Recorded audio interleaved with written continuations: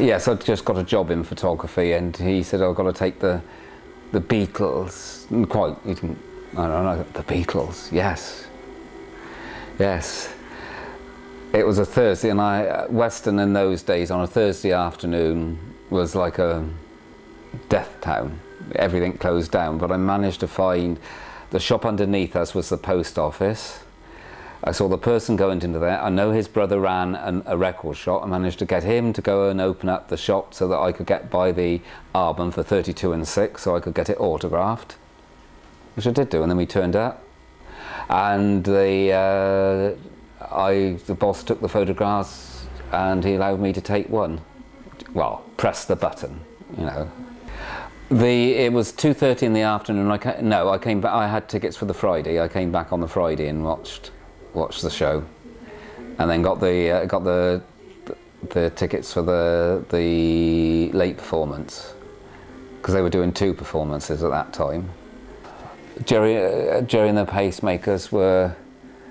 uh, I think they closed the first half and it was Sons of the Piltdown Men. Uh, Tommy Quickly and the Remo Four, who became the Remo Four became Cilla Black's backing group, and then became Ashton Gardner and Dyke.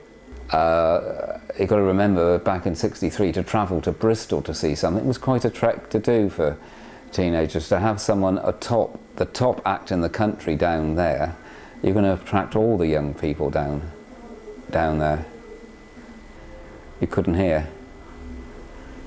You could just about hear the guitar riff in um, Twist and Shout.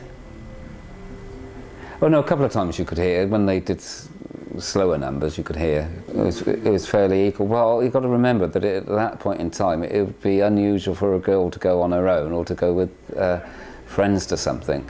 You'd always have a chaperone, a, a male or something.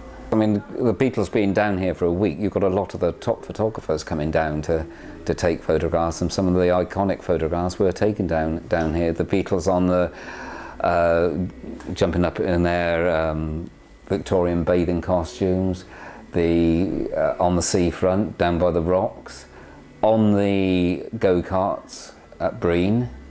When Eric Idle did the Ruttles, he came down and recreated all the photographs, but the only one he couldn't do was the uh, uh, one on Brean because the go karts weren't there anymore.